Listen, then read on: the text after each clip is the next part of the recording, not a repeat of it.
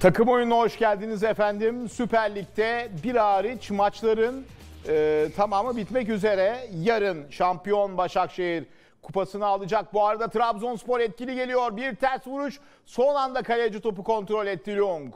Bir birlik beraberlik var Kayseri'de. Kayseri Spor 1, Trabzonspor 1. E, şöyle bakıyorum. Fenerbahçe Rize Spor karşısında 2-1 önde bir yandan altyazılarda da geçiyor görüyorsunuz. Beşiktaş baş, başkentte Gençler Birliği önünde 3-0 önde. Gaziantep Yeni Malatya Spor karşısında 1-0 önde. E, Göztepe e, Demir Grup Sivas Spor karşısında 2-1 önde. Devam eden maçlarda Deniz Ankara gücü 0-0 devam ediyor. İlginç bir skor Konya'da. Konya iki kez öne geçmişti. Alanya Spor 3-2 öne geçmeyi başardı.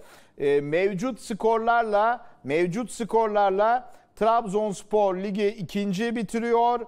Beşiktaş, Beşiktaş maçı sona erdi. Beşiktaş puanını siyah beyazlar 62 yaptı.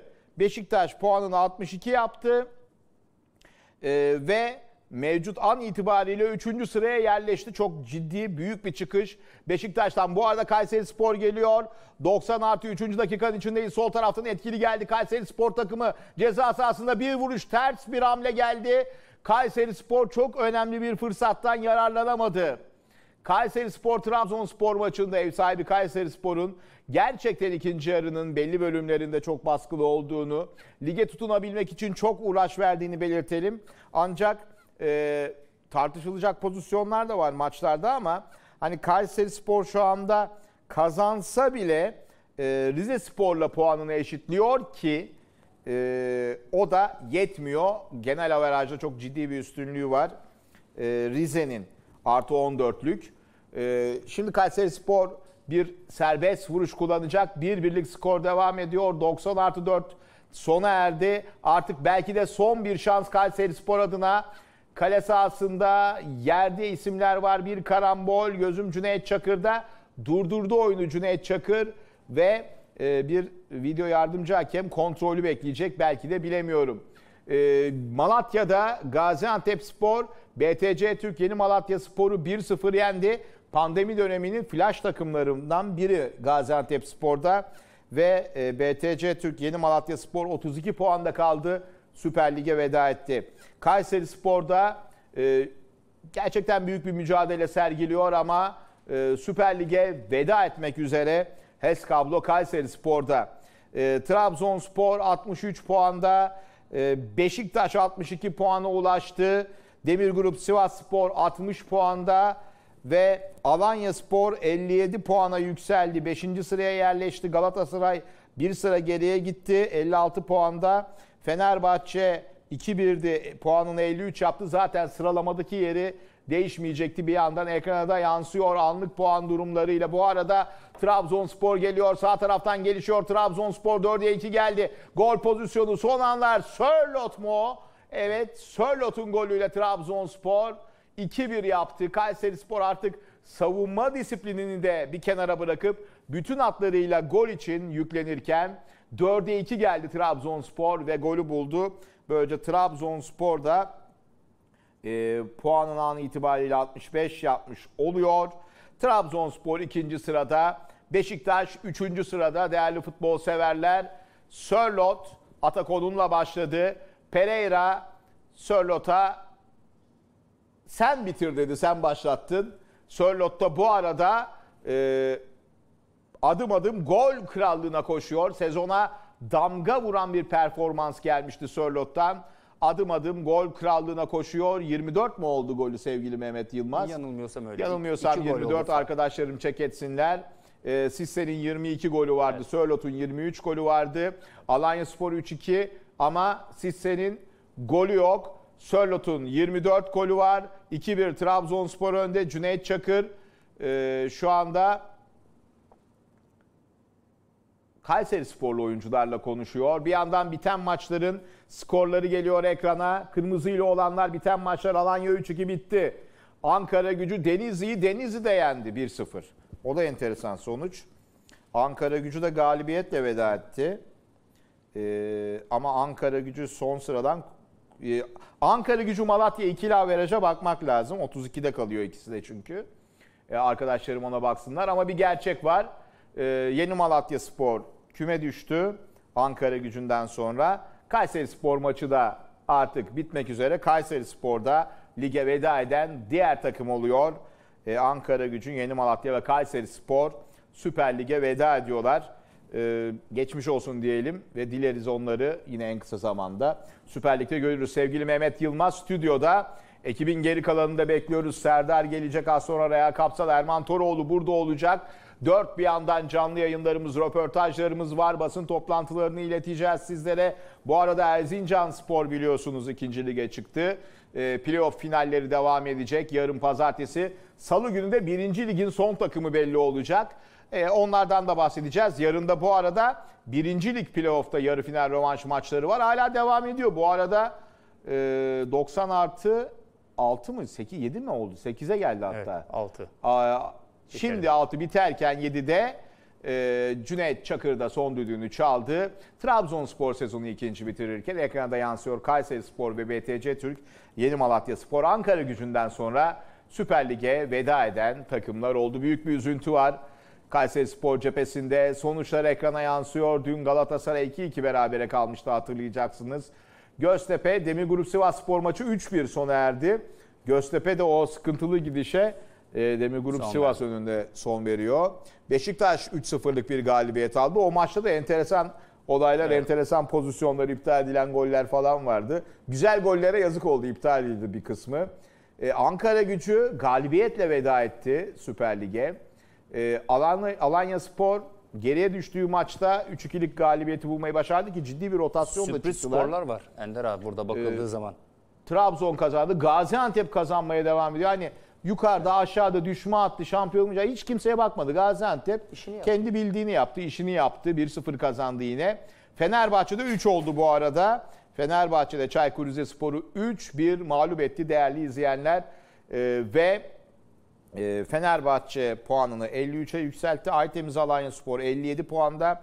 Galatasaray 56 puan 5. sırada kaldı. Anlık puan durumu hazırsa izleyicilerimize paylaşalım lütfen arkadaşlar. Onu da verelim öyle başlayalım konuşmaya, e, detaylandırmaya. Gerçekten uzatmalı. e, Pandemiden dolayı da çok zor bir sezon oldu. E, Tüm takımların emeğine sağlık diyelim. Tabii ki gülenler olduğu gibi üzülenler de olacak. Evet. E, Başakşehir 69 puanda. E, malumunuz yarın e, Kasımpaşa Başakşehir maçı var. Zaten şampiyonluğunu geçtiğimiz hafta ilan etmişti Medipol Başakşehir ve Süper Lig'in e, 6. lig tarihinin 6. şampiyon takımı olmayı başarmıştı. Trabzonspor 65 puanla noktaladı ligi. Beşiktaş 62 puanda büyük bir çıkış yaparak 3. sıraya geldi. Demir Grup Sivasspor 60 puanla 4. Ee, ve Aytemiz Alliance Spor'da 57 puanla 5. sıradalar. Ee, Galatasaray ve Fenerbahçe ilk 5'te yok. İlginç bir sezon. Fazlasıyla. Ee, Galatasaray 56 puanla 5. Fenerbahçe'de 53 puanla düzeltiyorum 6. Fenerbahçe'de 7. sırada tamamladı. Bu çıkış Gaziantep Sporu 8. sıraya getirdi ki Şumidika bahsediyordu bu. Evet. 8. olursak başarıdır ilk onda bitireceğiz diye de bahsediyordu. Ee, ve düşme hattında verebilir miyiz arkadaşlar? İkinci sayfayı da paylaşırsak. Ee, hemen şimdi ekrana gelecek düşme hattı da. Ee, HES Kablo Kayseri Spor 32, Ankara Gücü 32, BTC Türkiye Malatya Spor 32. Ee, 3 32 puanlı takım Süper Lig'e veda ettiler. Dediğimiz gibi e, burada gerçekten iyi mücadele eden yani Kayseri Spor mesela gerçekten Prosineçki ile iyi bir çıkış yapmıştı. Evet. Ama bir yere kadar geç kaldılar. Ankara gücü kritik maçlar, böyle köşe taşı maçlar var. Ankara gücünün de e, gücü yetmedi. Diyelim. yazık oldu. Yazık oldu. diyelim. Yazık Hani oldu. Hakikaten yazık oldu. belirli oyuncular var Ender Yeni abi. Malatya keza. İyi transferler yaptılar ama zamanında yapılacaktı. Bu transferleri sezon başı yapabilmiş olsaydı e, Malatya şey Ankara Gücü'de e, Kayseri Spor'da bu transferleri belki sezon başı yapmış olsaydı belki onları Tahtayı daha farklı yerlerde görebilirdik. gücü. Kolay Geçen değil tabii ki. kurtarmıştı. Evet. Bu sene yetmedi o çaba. E, hoca değişiklikleri. Kolay değil. Ee, Yani, Yani şöyle bir detaylandırıp bakmak lazım mesela. Yarın son programda onu yapalım arkadaşlar. Hangi takımlar kaç hocayla ligi götürdü? Ee, Bu da çok yani önemli bir o belki ayrıntı. başarı endeksine de etki etmiş olabilir. Ee, Trabzonspor ikinci bitirdi Mehmet Yılmaz. Çarşamba günkü finale rağmen e, ideal bir kadroyla çıktı hoca. Yani. E, Edenito. Evet. Tabii ki bakıldığı zaman Ender abi yeni bir hoca ile çalışıyorsun. Hani tamam yardımcıydı ama şu an Yani direkt sistemin içindeydi Tabii, ama. takımı çok iyi biliyor. Ha, bugün aslında oyuna bakıldığı zaman e, tabii ki eksikler çok fazlasıyla var ama mü- öte- son maçlara bakıldığı zaman Trabzonspor'un mücadele gücü daha yüksekti bugün. E, burada bence Trabzonspor'un e, en sevineceği nokta şu oldu. Trabzonspor'u taraftarlarını da mutlu eden tek şey Sörlot'un belki de gol kralı olmasıdır. Evet. Trabzonspor'un aklı bence Türkiye Kupası'nda. Çünkü bu saatten sonra alınabilecek en büyük kupa Türkiye Kupası. Trabzonspor'un bir tane maçı kaldı. E, bu maçtaki alınacak skor bence çok fazla önemliydi. Dediğim gibi Sörlot'un gol kralı olması Trabzonspor için çok e, önemliydi. Hem oyuncu için hem de Trabzonspor tarihinde bir e, gol kralı daha yazdırdı. Bir isim daha geçti oraya. Bu da önemli bir şeydi ama dediğim gibi şimdi Alanya Spor'la oynayacaksın. Bu maç üzerinden çok fazla konuşmak istemiyorum. Çünkü karşı rakibi de tebrik ediyorum. Gerçekten çok iyi bir mücadele verdi Kayseri Spor takdire şayan e, yaptıkları işler. Bu zamana kadar e, sayın başkanlarınla birlikte inanılmaz işler yaptılar. Ama Trabzonspor bugün kötü oynasa da e, hanesine 3 puanı yazdırdı. E, genel hatlarıyla bakıldığı zaman kolay değil ama senin de biraz önce söylediğin şey önemliydi. Kadroda tabii ki çok eksikler var. Trabzonspor'da sezon başından beri yeri dolmayan bazı oyuncular var, bazı mevkiler var. Şimdi bugün hoca şunu kanıtlamak istedi aslında. Ben dedi tam kadroyla sahaya çıkayım. E, hiç kimseyi dinlendirmeyeyim. E, ona göre çıktı sahada. E, yapılabilecek bütün mücadeleyi gösterdi Trabzonspor. Kayseri Spor'u ben burada kutluyorum. Trabzonspor'un e, çarşamba günü bir tane kupa finali var. E, Alanya Spor'a bakıldığı zaman rakibi bütün oyuncularını dinlendirdi. 3 tane bir Sise gol kralını oynadığı için oynadı. 3 tanenin dışında bütün oyuncularını dinlendirdi. Tabii Trabzonspor için hafta e, çarşamba günü önce kupa finalde biraz zorlanabilir. Çünkü kolay değil. Bu pandemi sürecinde gerçekten oyuncuları motive etmek de çok zor. Fiziksel olarak da çok zor, mental anlamda da çok zor.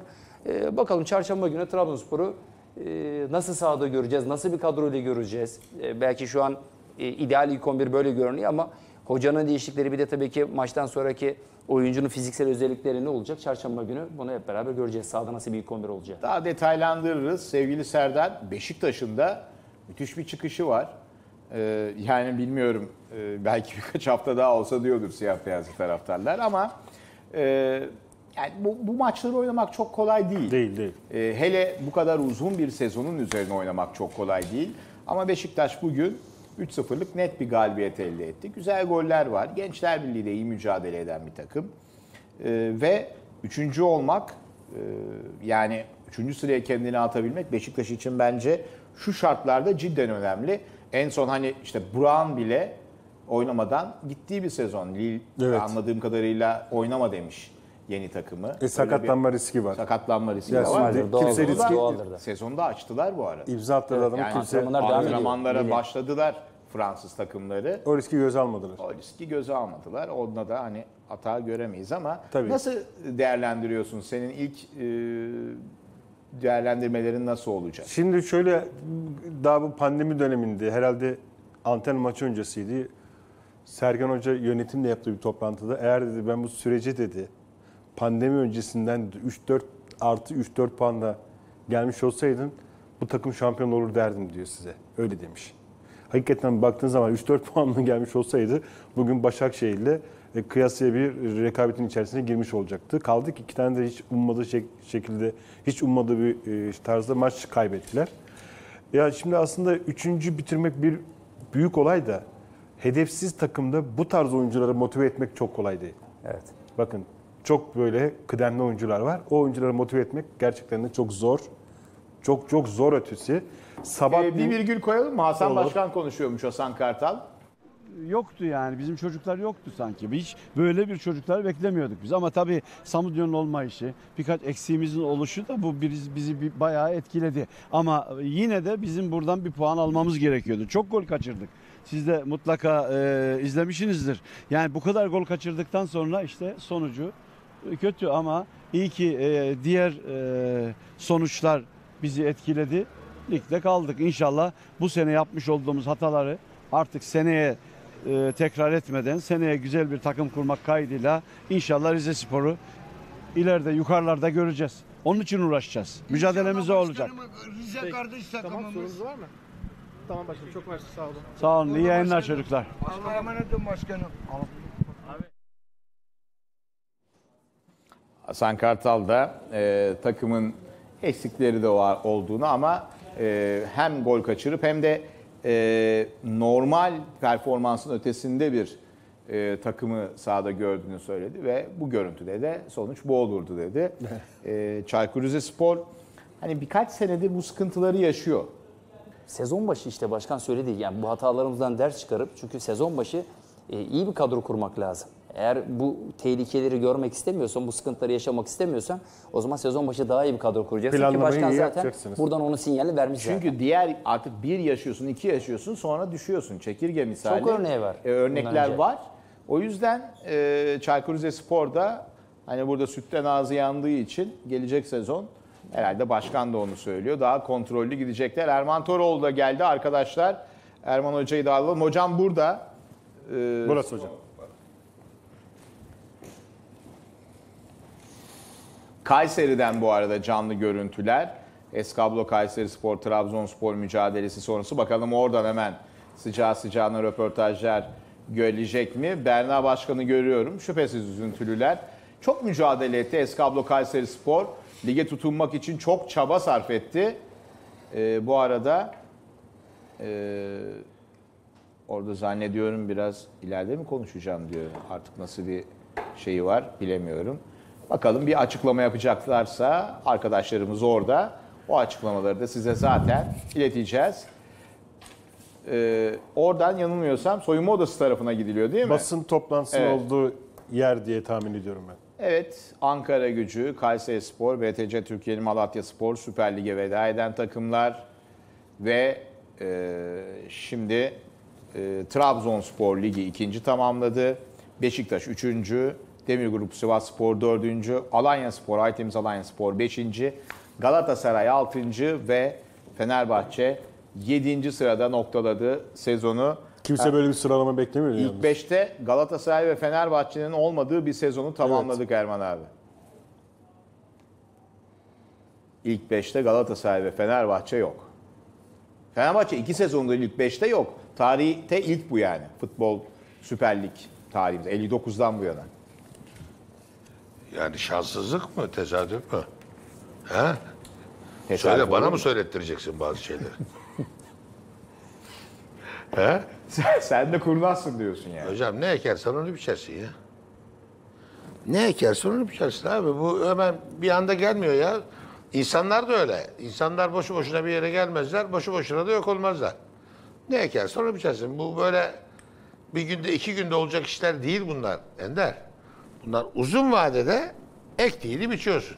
Bu Fener, Beşiktaş, K hiçbir şey fark etmez. Ne yaparsan başarı, başarısızlık tesadüf olmuyor futbolda.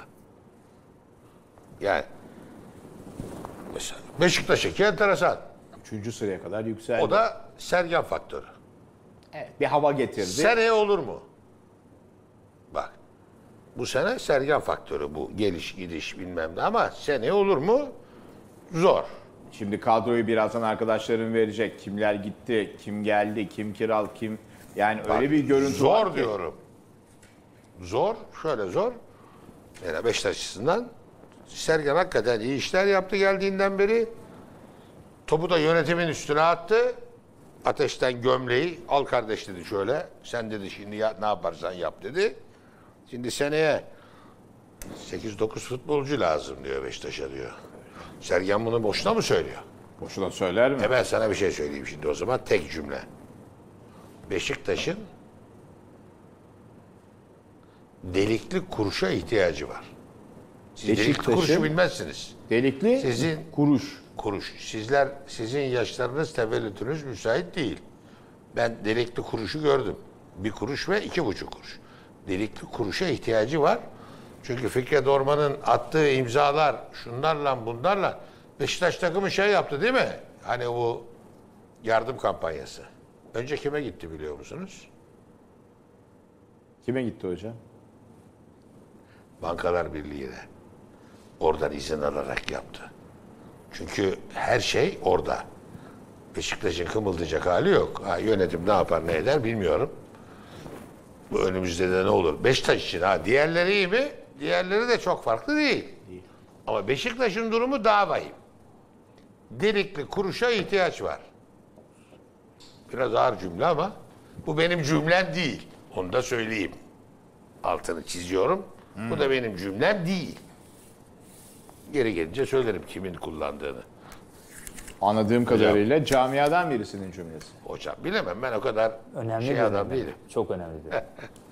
Şimdi Yani e, canlı görüntüler geliyor. İzmir'den de geldi. Ankara ve Kayseri'den sonra. Az önce arkadaşlarım yine Kadıköy'den de görüntüleri aktarıyorlar bize. E, İzmir'de de e, Göztepe Demir Grup Sivas Spor'u mağlup etti. E, orada da Demir Grup Sivas Spor iyi götürdüğü sezonu e, dördüncülükle noktaladı. E, Göztepe Demir Grup Sivas Spor'u 3-1 yendi. Sivas 4. Göztepe 10. sırada tamamladı ki Göztepe ilk yarıdaki puanlarla 10. sırada tamamladı. Yani kimi işte cepten yiyor, kimi ekstra puanla. Pandemiden sonra en kötü takım. Yani herhalde bakıldığı zaman. En az puan takımlardan takım. bir, bir biri. tanesi. Yani 3-4 taneden bir tanesidir. Evet, evet. Ee, yani Gaziantep'in ciddi bir çıkışı var. Kasımpaşa'nın ciddi bir çıkışı var. Evet. Pandemiden sonra. Beşiktaş'ın da keza e, iyi gitti Beşiktaş'ta. Hani hiç fena gitmedi açıkçası. Hocam sabah geliyorsun diyorsun ki yani bir hoca düşünün. Ya bugün acaba sözleşmesi fesheden olur mu? Bugün acaba ayrılan olur mu? Adam yani düşünsenize bir hoca düşünün gelip idmanda takımı sayıyor eksik var mı diye ya. Düşün yani öyle bir zor dönemde. O şey o takımı motive etmek çok kolay değil. Ee, 8 oyuncu 8-10 oyuncu lazım derken tabii gidenleri işte bakın görüyorsun bu gidenlerin yerlerinin dolması lazım. De gelenler Ama nasıl çıkacak? olacak? Duracak mı? Nasıl Şimdi tutacak mı? Beşiktaş işte ticarette para yokken ne vardı? Takas vardı. Şimdi Beşiktaş artık takasa gidecek bazı oyuncularda. Ee, bazı oyuncularda bir miktar para. O da nasıl olacak? İşte sattığı, satacağı oyunculardan. Şimdi Burak Yılmaz'ı Vida'yı Beş- ne yapacaksın? 3.4 Beşiktaş yönetimi milyon. sattı.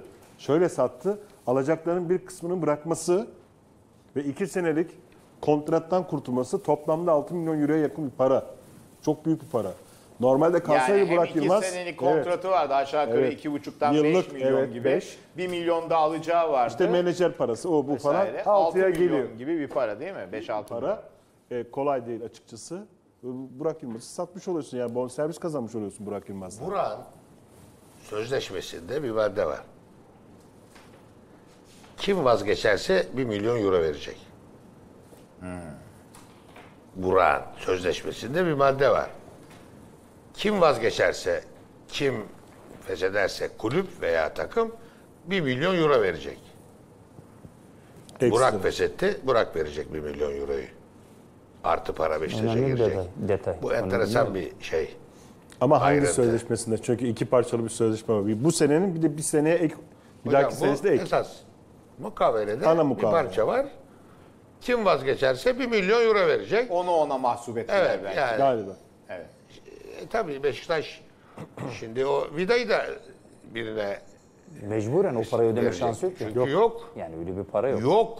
Zaten Burak Yılmaz da kendi ağzından Yok söylüyor ve yani bunu. yani yönetim para verecek de veriyor da nereye kadar? Çünkü hiçbir şekilde yönetime para gelmiyor. Öyle bir mukaveleye imza atmış ki Fikret Orman Beşiktaş yönetiminin kımıldayacak hali yok. Ver de nereye kadar abi? Siz hocam e, hatırlıyorum geçen yıl, önceki yıl bu konuda çok vurgu yapıp eleştiriyor, eleştiriyordunuz. Çok Üç da laf sene, işittiniz. dört sene 3 evvel. sene önce falan. Bana burada stüdyoda bile Beşiktaş düşmanı dediler. Desinler. Çok küfür edildi etsinler. Bana burada Beşiktaş düşmanı dediler. Ben, niye Beşiktaş düşmanı veya Galatasaray, Trabzon, Fener düşmanı olayım ben?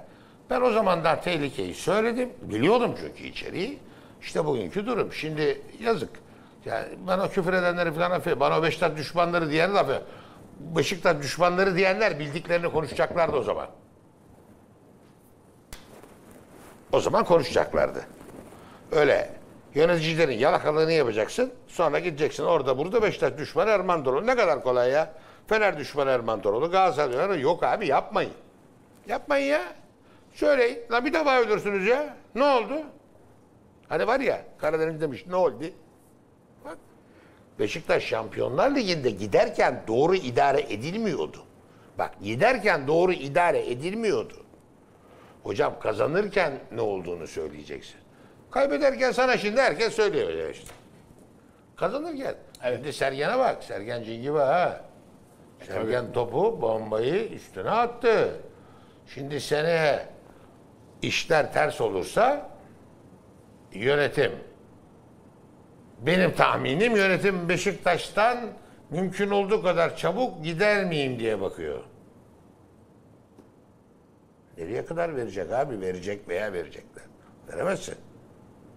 En kısa zamanda Ellerinden geldiğince bakacaklar? veriyorlar ama. Yani çok kötü durum. Ne yaparlar? Ha şöyle olur.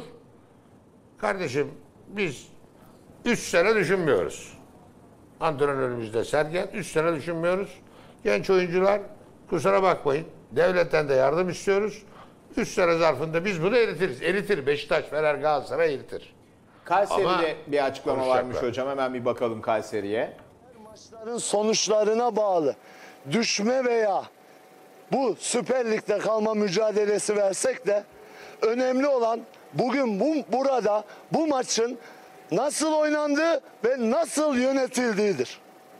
Bugüne kadar hakemler hakkında tek bir kelime bile konuşmadık. Gün geldi sportif ekibimizde, gün geldi idari ekibimizde ilk defa açıklıyorum bunu burada koronavirüs tespit edildi. Ligi sabote etmemek adına, endişe vermemek adına hiçbir şey açıklamadık. Sırf Süper Lig oynansın diye. Bugün çok güzel bir karşılaşma oldu. Oyuncularımı, teknik ekibimi hepsini canı gönülden tebrik ediyorum.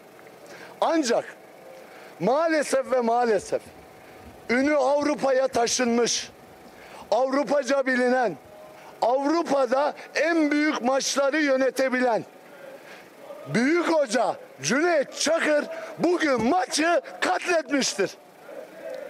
Bir kere dahi vara gitmemiştir.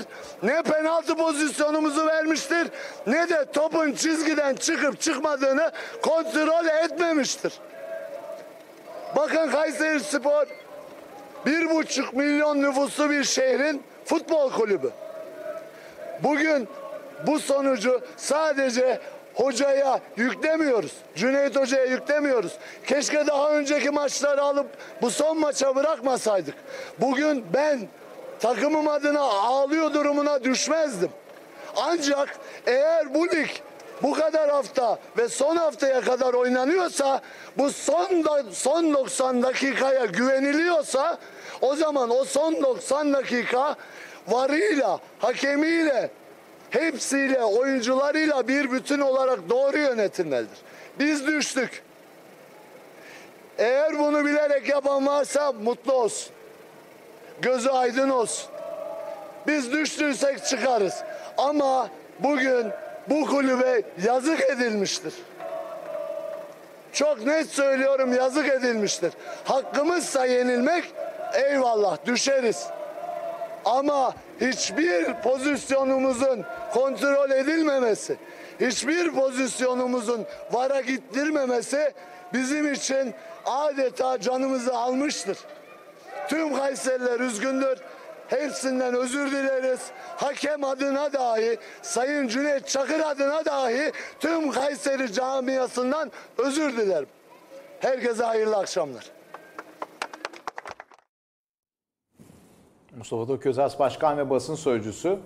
Ee, çizgiden çıkan iki topu var Kayseri Spor'un, Eskablo Kayseri Spor'un. Bir de Gilerme'nin pozisyonu var.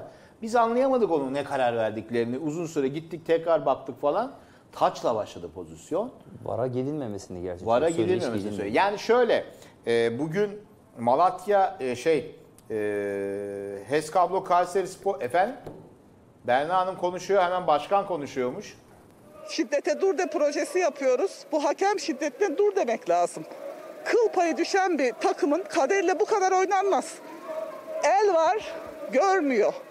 Golü vermiyor. Penaltıyı, ilk penaltıyı vermiyor. Anlamak mümkün değil. Dizayn edilmiş bir ligin pan, yani tiyatro gibi izledik.